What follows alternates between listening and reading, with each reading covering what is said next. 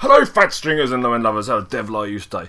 Today we have this kind of like really simple metal rock, heavy uh, rock uh, metal line, and the reason I want to go into it because it's simple and some guys, you know, uh, just appreciate the simple stuff. But also I want to kind of get the idea about opens again and like doing opens between notes and how you can like embellish and and you know just add things. So it's quite simple this lesson. We're gonna do two open E's. It's going to sound really good if you drop down to D or even C, by the way. So, so, okay, bam, bam, bam, and then come to the first fret on the E string, the F note. Then do another open E, and this is it. We could go, which is definitely viable in, in you know, if, if that was heavy and it was going on with like a heavier beat. So, but if you go, adds a little bit more to it. Kind of like gives it more of like a, a metallic, metallica essence even. Um, that's what Jared loves doing, definitely.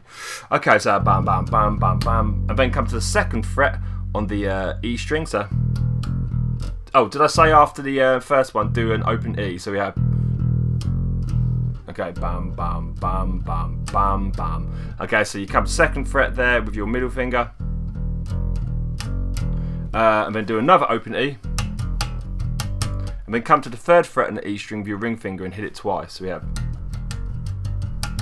nice and simple. Yeah, but it's about just like kind of like getting a, like an understanding of hitting those open E's in with things. That, you know, if I was to go, I'm just going second to third, second to third on the E string. Adding an open in there just gives it more of a more depth, I feel. yeah. Sneeze metal. That was cool. Anyway, my friends, uh, just a really simple one today. Hope you enjoyed it. I like hay fever in the middle of the winter. See you in tomorrow's.